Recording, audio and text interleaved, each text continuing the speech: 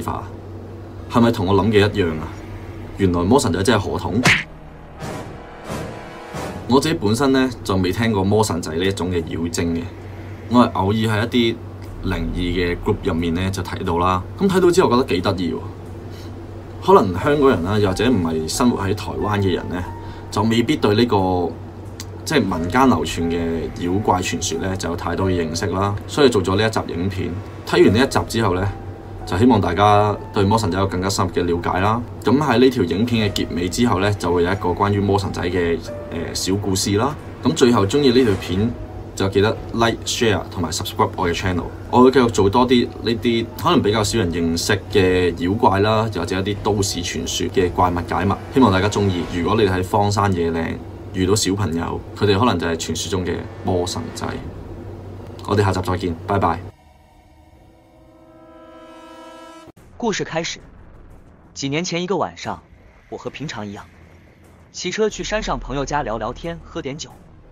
当然，我一定是会在他家睡一晚，没有别的原因，因为晚上自己下山会害怕。其实我老家跟朋友家离得不远，勉强能算是同一座山。事情是这样发生的：当我睡醒后，骑车下山回家，我快要骑到老家门口，正要上高速时，我突然看到我一个朋友载着他的女朋友在我旁。他问我：“你要去哪里？”我跟他说：“回家呀。”怎么了？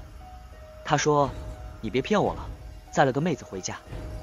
正当我纳闷时，我看后视镜，发现我后面真的有人。那个人就是我前一晚去他家聊天的朋友。但我明明是一个人下山呀。但当下其实我也没有想太多，我就问他啊，你們要去哪？结果他跟我说，你跟着我们就好。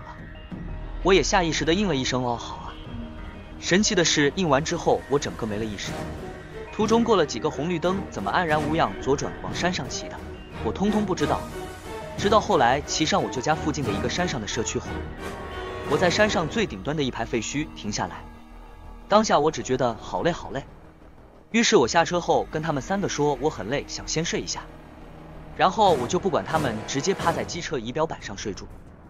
后来大约早上七点多吧，明明天气很凉爽，我却是因为感觉到背部一阵异常灼热，热到受不了的那种，于是我醒来了。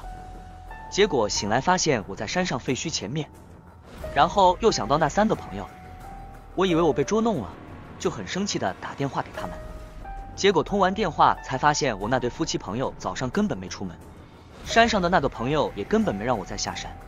故事到这里就结束了，